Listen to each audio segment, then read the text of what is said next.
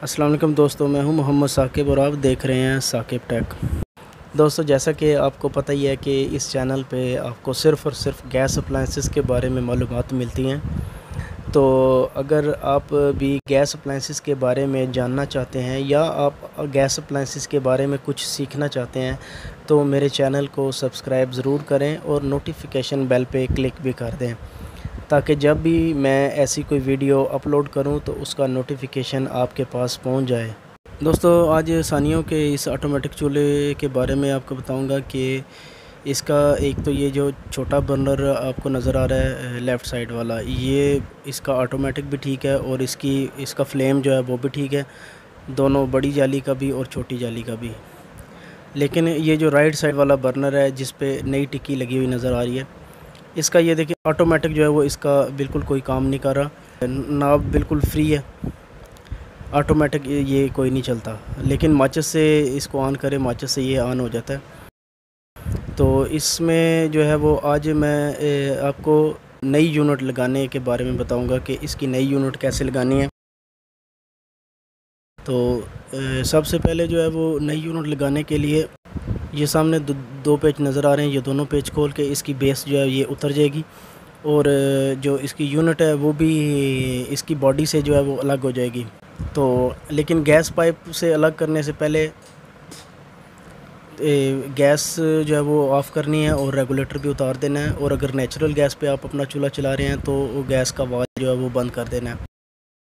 اس کے بعد اس کا گیس سپلائی والا جو پائپ ہے یہ الگ کر لینا ہے یونٹ کے سے، یونٹ سے الگ کر لینا ہے۔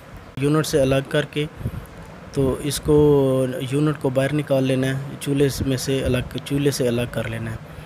تو سامنے سے دو پیچ جو ہے وہ ہم نے پہلے ہی کھول لیے تھے۔ تو یہ ربڑ واشل جو ہے، یہ دوبارہ نئی یونٹ کے اندر ضرور رکھنی ہے جب گیس سپلائی والا پائپ واپس لگائیں گے۔ اس میں جو ہے وہ دو تین چیزیں اس کی جو ہے وہ مسنگ ہے۔ تو یہ بس میں آپ کو تھوڑا سا جو ہے وہ سمجھانے کے لیے ایک دوسری یونٹ سے جو ہے وہ کھول کے اس کے اندر جو سپرنگ اور سٹیگر ہوتا ہے وہ نکال کے دکھاؤں گا کہ یہ سٹیگر، سپرنگ اور یہ پتری جو ہے، یہ تینوں چیزیں اس یونٹ کی جو مسنگ ہے۔ تو اس لیے یہ یونٹ جو ہے وہ ریپیریبل نہیں ہے۔ اگر تو آپ کے پاس اگر کوئی پرانی، کسی چولہے کی پرانی یونٹ پڑی ہوئی ہے، تو پھر تو آپ اس میں سے یہ تینوں چیزیں اس کی نکال کے اس یونٹ میں لگا سکتے ہیں۔ لیکن اگر کوئی پرانی یونٹ نہیں پڑی ہوئی آپ کے پاس تو پھر جو ہے وہ اس کا حل یہی ہے کہ آپ اس میں نئی یونٹ لگائیں۔ تو اسی لیے میں آپ کو اس میں نئی یونٹ لگا کے وہ بتا رہا ہوں کہ نئی یونٹ جو ہے وہ کیسے اس کے اندر فکس کرنی ہے۔ یہ نئی یونٹ ہے۔ تو یہ برنر جو ہے وہ تھوڑی سی اس میں نئی یونٹ کو لگانے میں تھوڑی سی جو ہے وہ رکاوٹ کرے گا، اس لیے برنر کو میں اتار دوں گا۔ تو یہ اس کی پن جو ہے وہ نکال کے پن اگر سیدھے طریقے سے آپ سے نہیں نکل رہی تو آپ اس طرح پیچکس کی مدد سے جو ہے وہ نکال سکتے ہیں۔ تو برنر اتارنے کے بعد اس کی جو ہے وہ یونٹ نئی جو وہ میں فکس کر دوں گا۔ ربڑ واشل ضرور رکھنی ہے۔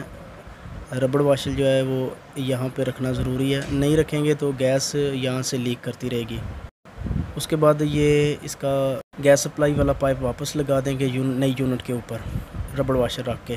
ویسے تو میں آپ کو بتاؤں کہ نئی یونٹ جو ہوتی ہے، اس کے دونوں جیٹ ساتھ لگے ہوئے ہوتے ہیں نئے۔ لیکن میرے پاس یہ جو نئی یونٹ پڑی ہوئی تھی، اس کا جو ایک جیٹ کوئی نہیں تھا لیفٹ سائڈ والا جیٹ تھا، وہ کوئی نہیں لگا ہوا تھا۔ اس لیے پرانی یونٹ کا ہی وہ جیٹ اتار کے تو میں نئی یونٹ میں لگا دوں گا۔ تو یہ جیٹ جو ہے تھریڈ ٹیپ لگا کے تو میں واپس لگا دوں گا نئی یونٹ میں۔ سوراخ اس کا صاف ہے بالکل۔ یہ جو ہے وہ نئی یونٹ میں لگا دیں جیٹ لگانے کے بعد اگر کبھی چولہا جو ہے وہ زیادہ عرصے تک بند پڑا رہے تو برنر کی یہ جو نالیاں ہیں اس کے اندر کبھی وہ جالا وغیرہ بن جاتا ہے تو اس کی وجہ سے بھی فلیم جو ہے وہ یلو ہو جاتا ہے۔ تو اس وجہ سے میں کہہ رہا ہوں کہ آپ احتیاطاً جو ہے وہ برنر کے اندر لوہے کی تار کی مدد سے اس کو صاف کر دیں۔ تو برنر کو صاف کر کے تو واپس لگا دیں گے۔ برنر لگانے کے بعد، اب چولہے کو سیدھا کر کے یہ سامنے سے جو بٹن کے نیچے جو بیس ہوتی ہے، جو اتاری تھی، وہ بیس واپس لگانی ہے۔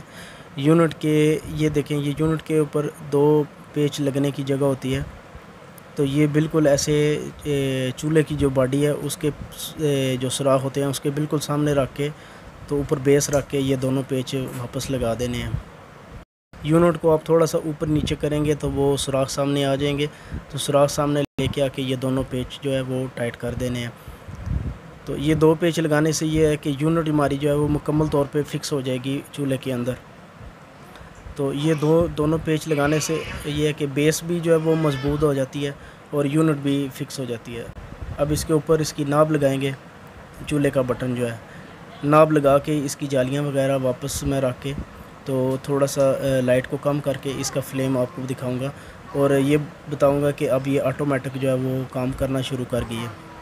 کیونکہ ظاہری سی بات ہے، یہ نئی یونٹ ہے تو اس کا تو آٹومیٹک کی وجہ سے ہی ہم نے اس میں یونٹ نہیں لگائی تھی۔